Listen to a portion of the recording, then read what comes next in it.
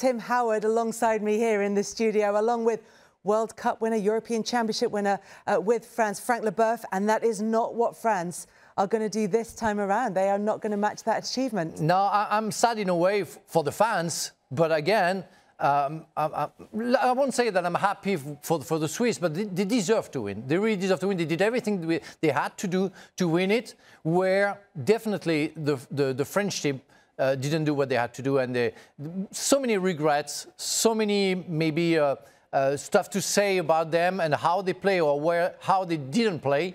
And, um, and they will have to analyze that and, uh, and see what they have to do after that. Yeah, you can only feel the joy from the, the. Swiss camp there because they are in the quarterfinals of this competition for the first time ever. And they showed such resilience throughout the match, Tim.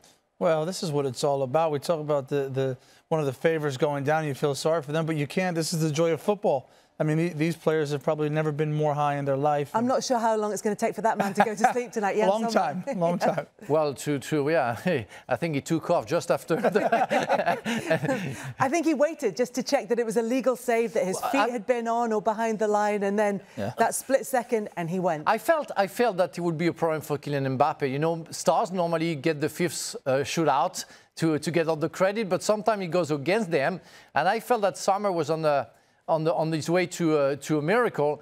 And I have to say that if he did save the, the penalty, Kylian didn't shoot it very well. He shot it on what they call the gloves area, uh, and uh, and uh, it's what happened. And they had a, and Sommer had a strong hand mm. and saved it.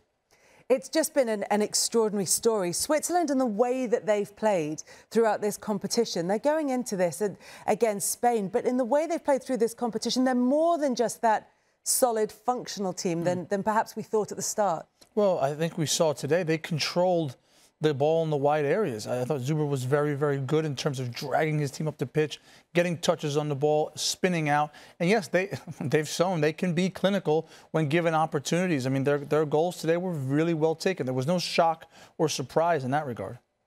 Uh, no surprise, no uh, in that regard, but it is a huge shock Frank, that France have gone out of this tournament?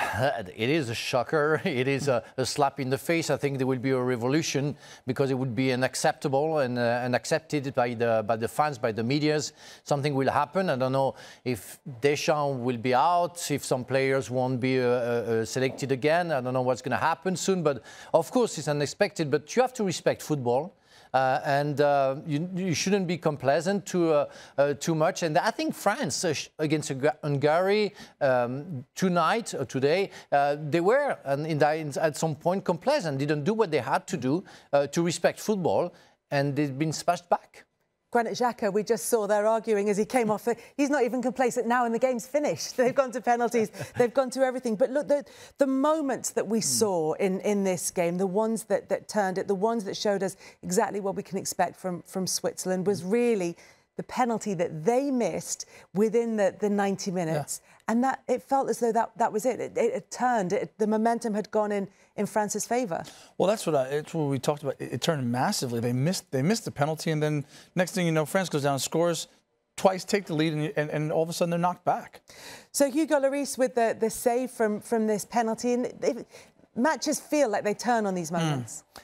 Yeah, that's uh, that's amazing because uh, Hugo uh, hasn't got a, a, very good record on, the, on on stopping penalties, but he did very well. But suddenly it changed everything, and it was a real turn of heaven. We didn't see Benzema all game long, but we saw him for three minutes when he scored two goals, and but Switzerland yeah. came back.